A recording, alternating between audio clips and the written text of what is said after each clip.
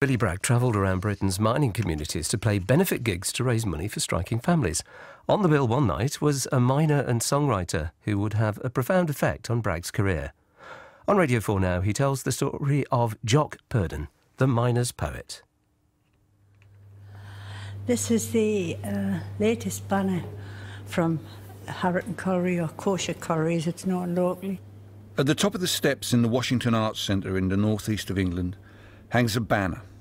It's a Union banner of the type that has been held aloft at the head of rallies and marches for centuries.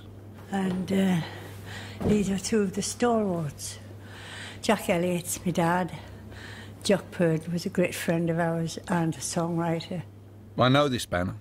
I sung in front of it when it was first unfurled in 2005.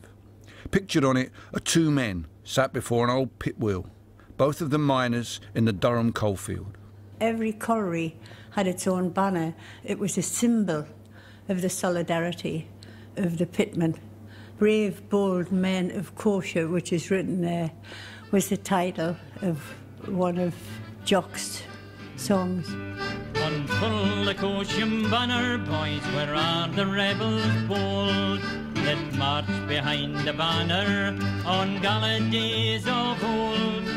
It once was said that never read like listening, I've been told. Jack Elliott, Doreen Henderson's dad, and Jock Purdon are just two of the singers who have worked in the Durham coalfields, part of a rich tradition in this area of singing and poetry, putting into words the lives and experiences of the people, working underground and living and surviving in pit communities. Well, I always say to him, because we take the banner out on Gala Day in July, and I always said to my dad, right, this is your first visit outside, and we're going to go in the pub and have a pint with you. Because he's still alive, to me, uh, his spirit's there, and the same with Jock. Both gone, but they're alive through the thinking and through the singing. They'll never die, I hope. The Durham coalfield powered the Industrial Revolution, and there have been pits in this area for hundreds of years. Not now, though. This isn't a mining area anymore, and there are few signs that it ever was. But at its height, it was producing millions of tons of coal every year. And around these pits grew new communities to service this industry. There are five main coalfields in Britain. One of the larger coalfields is Durham, and one of the larger Durham collieries is at Willington. If you're out there, walking along the lanes or the fields, or looking at Brancepeth Castle, you come upon it suddenly over the brow of a hill. It was probably the first great coalfield in the world. Robert Colls grew up in the area and is from a mining family. He's now a professor of history at De Montfort University in Leicester. Out of Newcastle and Sunderland, they were shipping half a million tons a year in the 17th century, a million tons in the 18th century, and by 1913, 56 million tons of coal was coming out of the northeast. And the point here is that you could have never had an industrial revolution in these islands without the ability of British coal miners to produce ample supplies of cheap, high quality coal. Bulletin with a wider look at the coal strike and the effect it's having on the communities involved. With the stoppage now approaching its 11th week, miners have become hardened to living without pay. Savings have been spent, credit used to the limit, and a life of privation is now a familiar routine to more than 100,000 pit families in Britain. During the 1984 miners' strike, I went to the north of England to do gigs to support the mining communities. and doesn't want to care. But 1985, there's only one real question in people's minds, as far as I'm concerned, and one decision to be made: which side are you on? There was no way I could just stand aside and not take part in them because as far as I was concerned, these were working class people, my people. I came from a heavily industrialised area where we built cars. And it seemed to me that what was happening to the miners was also happening at places like Ford's at Dagenham. This government had an idea and Parliament made it law. It seems like it's illegal to fight for the union anymore. And which side are you on, boys? I arrived in the northeast as a child of the punk rock period. I was been a Clash fan, they'd politicised me, and here I was bringing the truth to the mining communities. And of course, when I got up there, I found that there was Jock Purdon singing these mining songs that were much, much more political than anything I had in my song bag. And it reminded me that in folk music there was an unbroken line of topical, traditional songs singing about the ordinary lives of working people. And it kind of helped to reconnect me with that tradition.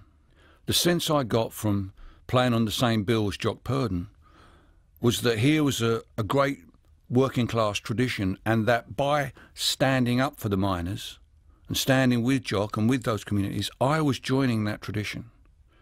So when I came away, I went and found out as much as I could about it. Learned about songwriters like Joe Hill, learned some of Ewan MacColl's songs. In many ways, Jock was the last of his generation of people who actually had been miners and was singing about it. Those who came after, they were singing the songs of their parents or the singing the songs of their area.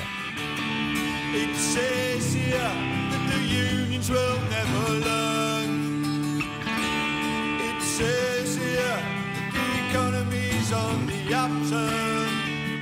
The effect it had on my songwriting was to take me from someone who had written personal songs about politics, and that change was brought about by coming into contact with working class culture expressed by people like Jock Purdon. This is Conyers Avenue, which is in South Pelaw or uh, Chester-le-Street. Jock Purdon was actually George, and like most miners, he was given a nickname. And because he was from Glasgow, it was natural, if not original, that he became Jock.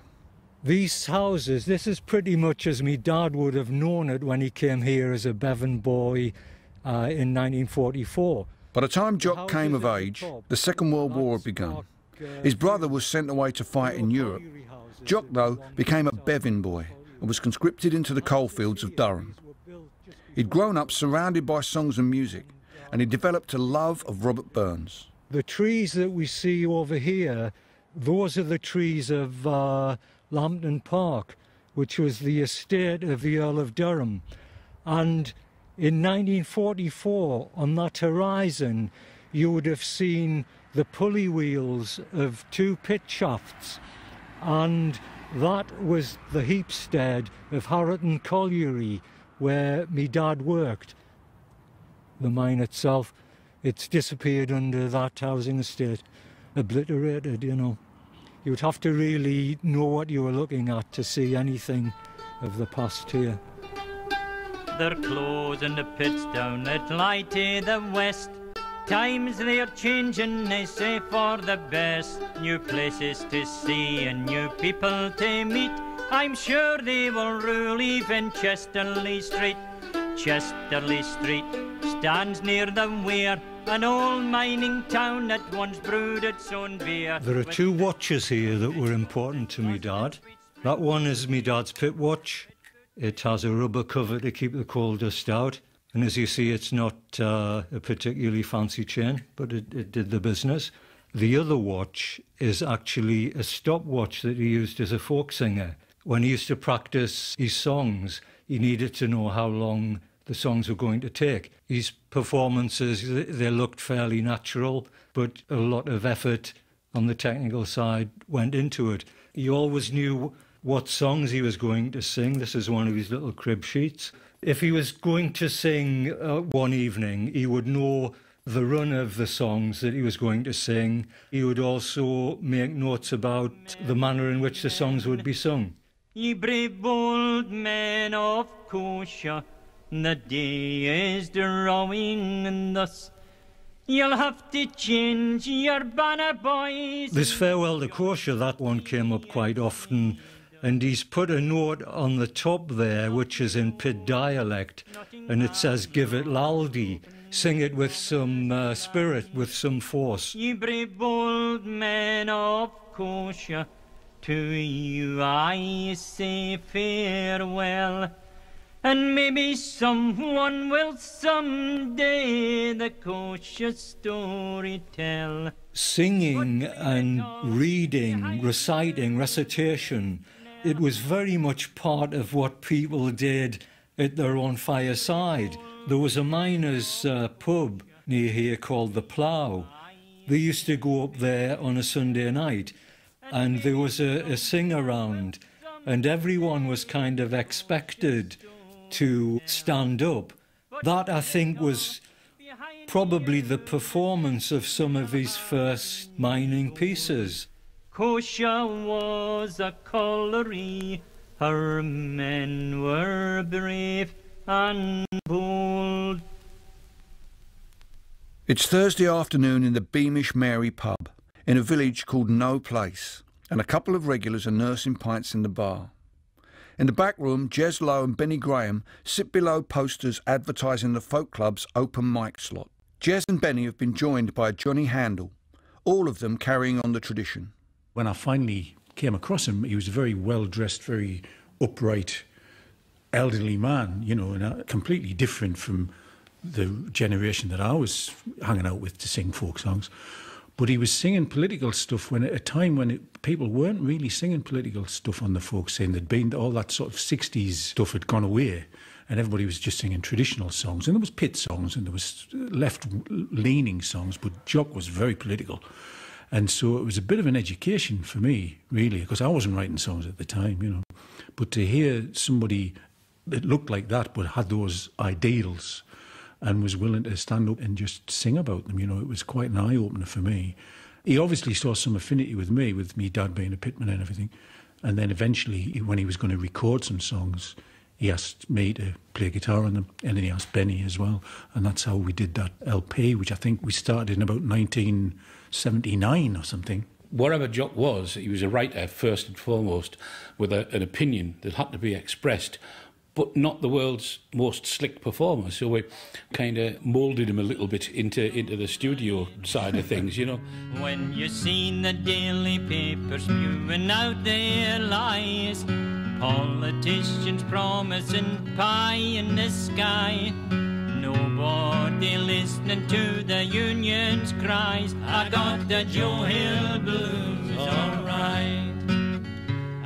He had lots of lyrics, great lyrics, you know, very stirring stuff, but he only had about three melodies. Half the album was to the tune of You Tramps and Hawkers. I think on the finished album there's still three songs with that tune. And he just thought this was hilarious, you know. We would say, No, Joe, you can't do that one. You know, it's, it's the same tune as the last one, you're going to have to do something different. And he didn't care, you know, it was the words, I think. Johnny Handle has been part of the music scene for decades, and he's an ex miner himself. I remember asking him about writing melodies because I was writing stuff. And uh, I said to Chuck, did not fancy writing a, a, different tune, he says. Oh, no, he says, uh, it's a waste of time, he says. I can spend more time thinking of the words. Setting off the missiles just to see them cruise. I got the Joe Hill blues, alright. I met Jock first when I went to Birtley Folk Song Club, which is south of Newcastle. And he was one of the people who got up and sang a song. And I particularly noticed whenever I was there, he always seemed to be writing a new song, and there were always political songs. And having been in the pits myself, I could identify with the themes in his material. So he was very active in, in a political way, but he's also creative and he was always willing to get up and sing. Not all songwriters are willing to do that. And he was a member of the community that went to Birtley Folk Song Club, where most of the audience happened to be also performers. A wonderful thing. Birtley Folk Club was the centre of this remarkably rich culture of folk singing that has stretched back centuries in this area. The head of the family was Jack Elliott, who, like Purdon, worked at the Cotia pit. So rob a bank, me canny lad. Wind it away, keep turning. The backshift men have gone in the air. They'll be back here in the morning. Doreen Henderson, Jack's daughter, ran the club until it was forced to close just before Christmas, after 52 years. Singing for her was part of life in the living rooms of the houses that surrounded the pits. We lived in one street of colliery houses, and that's all there was a chapel and a pub and the street of houses, and we had our own entertainment, and it was always singing. We had booty concerts from me being five year old, and it was all music, it was all pit, it was all folk songs. They always sang in the pubs, always. I mean, when we got up to 12 or so, when you, you, you didn't get in the house early, we used to go and listen at the pubs. And we knew it was hoying out time, as they said, at 10 o'clock, when Jody Dalton, the man four doors up from us, used to sing songs of the seas, bobbing up and down like this. Mm-hmm. And we would look through the window and there was all the pitmen bobbing up and down. like kids again, absolutely reborn. It was just fascinating. The music gave it an authenticity that was peculiar to the pitmen because they were very musical. I don't know, they had choirs. If you went to the chapel, the chapels always had a choir. I don't know where the singing come from unless it was a form of relief. That's the only thing I can think of, that it was so different from what they were doing day after day, the grind down the pit. The music and the songs were just nectar to them.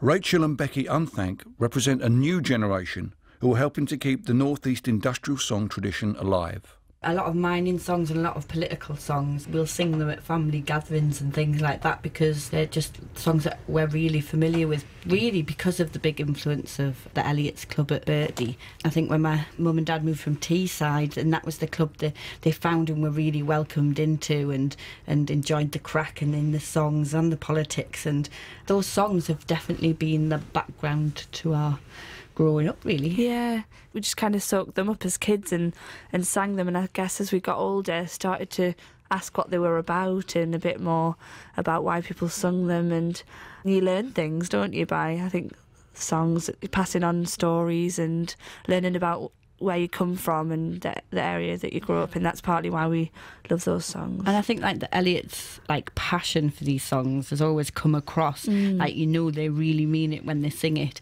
It's not just a story to them; it's life, and they still have that passion now when they sing.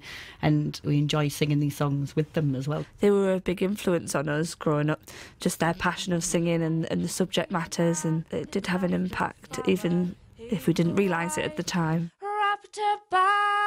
Me canny lads. Winder away, keep turning. The back shift men are gone in the AM. They'll be back here in the morning.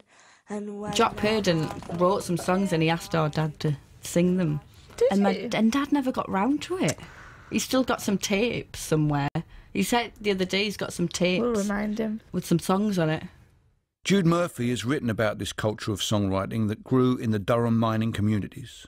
There's a very distinct particularity to the northeast of England, and within that, you've got various really strong industries that grew up, such as the miners and also shipbuilding. Although shipbuilding, funnily enough, doesn't produce as many songs. Then you've got the farmland, you've got all these different kinds of occupations all feeding into each other in this very distinct area with a very long history, and there's still this sense of it being a Northumbrian identity, you know, going all the way back to Bede's time.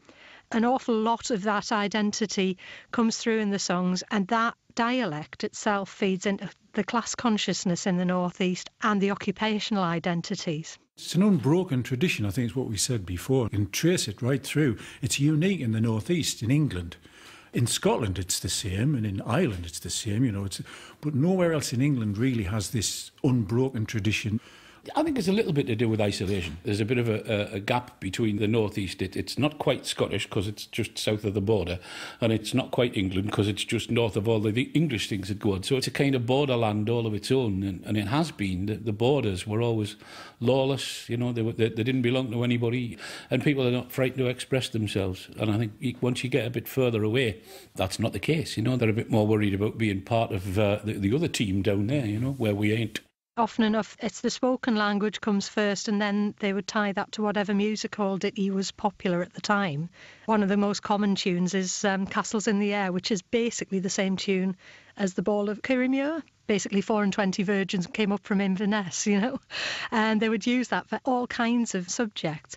So they're using these tunes but then they're writing about what matters to them within their communities and often enough, actually, it's a print culture as well. It's not necessarily always a culture where people just sing the songs and then they disappear into the ether. We had very early broadsheet publishing here, And lots of books were published right from the early 19th century, sort of promoting people's songs. And in that case, they're used as fundraisers and things as well.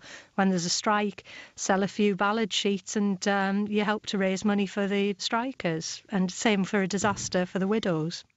Robert Colls is Professor of Cultural History at De Montfort University and has written a book called The Collier's Rant about singing in industrial communities, especially in his native northeast. Jock Purdon and the Elliots were part of the second folk revival, so called, in the 1950s and 1960s, which was strong in the northeast and particularly in the coalfield. I mean, the music of the labour movement is, of course, the brass band I mean, there were about 5,000 brass bands in England in the 1930s. And some of the very best bands were in the northeast of England. And then, of course, there was a choral tradition too, more connected, I suppose, originally through the Methodist chapels. And then popular music, music sold for money and sang for money. And that's very apparent right from the 1840s. There's a great musical tradition there, singing in pubs and concert halls, and of course later in music halls. Now, people like Jack Elliott were not immune from all this. They understood these other musics and these other traditions and mixed with them. This is not a, a guy who's constrained by the tradition, but enabled by it. Come listen, O ye minor lads that take the road in by. Music is very powerful, but it can't change the world. What it can do, though, is engender a sense of solidarity. If you listen to someone singing about your community, you realise ultimately that you're not alone. And that power is underlined if that person singing is from your community by standing up and singing songs about the miners in the accent and language of the Northeast. Jock Purdon and the Elliots were representing their people. There is a contradiction, though. The miners' songs were often romantic, or a lament or an elegy, but a lament for a dangerous, hard, dirty, uncertain life. The elegy isn't really for the danger. The elegy is for the comradeship that was born of the danger the men missed each other. And don't forget either that the money was good. Miners were well paid, certainly from the end of the 19th century, compared to other working class groups. Their autonomy was high. The trade union and labour movement didn't exactly control the village or the colliery, but had huge influence on what happened there. And of course, the community was good as well. So the elegy was not really for the pit, it was for the men who made the pit. I think there were all kinds of men in the mines. There were the muscle and bone men, but there were all kinds. There were the chapels and the cooperative society, the choirs, the workers' education classes. What united them was the work, but they were very different people in, in very many respects who were Maras and, and worked Maras. As a student of Burns, it gave me dad the permission in a way. I was a miner, I was a docker, I was a railwayman between the wars. I raised a family. I would probably never have written Between the Wars were it not for the inspiration of Jock Purdon. Finding him sitting there singing unaccompanied at that miner's benefit was almost like discovering Woody Guthrie, because Woody didn't learn those songs, he lived them, and Jock was the same. Down the ages, powerful political messages have been passed on from generation to generation in song, and Jez and Benny are keeping that alive here. He sat in this pub once with me and we were talking about stuff. I think you were there, Benny. He says, Jez, he says, anarchy. Anarchy is the only way. And I was going, oh, what, joking on a bit much. but everything, this was about 1981 not 82, it was before the, the miners, that, that miners strike in the 80s, the big strike. I mean, he was writing songs, the coal being superseded by the, the oil, way back when cheap oil was on the go and people were changing from coal powered central heating to oil fired central heating. And he saw that as the thin end of the wedge for the coal industry in its entirety, and he was 100% right. It's miner this, it's miner that, it's miner dig the coal. But when the oil comes pouring in, it's miner on the dole. Whenever I thought of Jock, I always thought, that's my little proggle. I'll be guilty because I haven't dwelt enough on the political aspect of something. I will be writing some smooth songs about jolly things and funny things that's happened. A straightforward song, and suddenly I thought, I'm just getting to be a middle of a roader. I would think of Jock and think of his songs, and suddenly I would have the inspiration to say, right, I'm going to do something because I felt like that, and I'm going to stop everything. The chip pan can be burning, the Ben can have his nappy not changed. I'm going to start it.